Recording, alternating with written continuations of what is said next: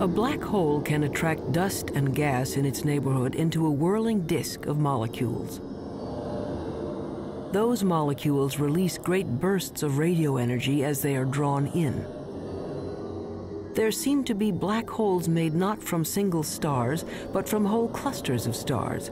They have a mass a hundred million times that of our sun. But these monsters are still infinitely small points, capable of gobbling up other stars. But where does the stuff that falls into a black hole go?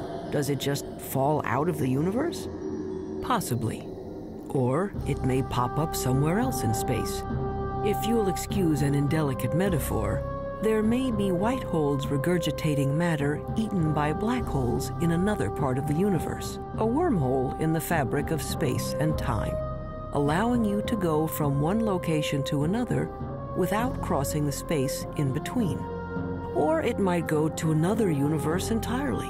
Astronomy's reigning theoretical genius, Stephen Hawking, proposed that the black holes in our universe might well give birth to other universes. In fact, there might be any number of universes, like bubbles in the bath.